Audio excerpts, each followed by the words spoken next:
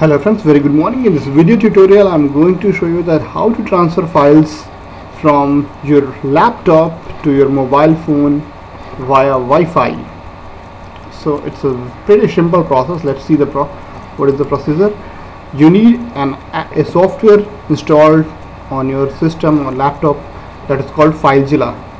Okay this is very small software and download and install it.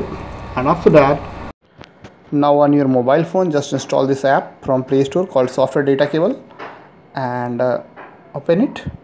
Click on connect to pc start service. Create. It will give you an ssid and password. Just remember and dismiss it.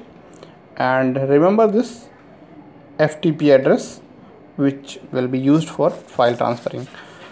Okay now go to pc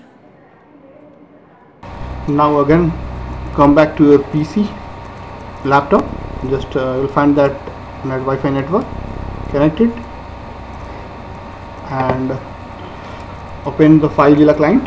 After that click here the address which is FTP address which, which is shown on your mobile phone screen. 192 dot 168 dot 1 sorry 43 dot 1 and uh, leave it username blank and password blank and enter the port number 8888 and click on connect. It will be connected by to your mobile okay via Wi-Fi. This is device. Select the folder in which you want to transfer. Suppose I want in DMIC select it. And here is the computer. Just select the folder or files from which drive you want to transfer suppose this is the file and and suppose this is uh, mp3 let's see. I want to transfer this mp3 to this. It will show the success here progress and it's done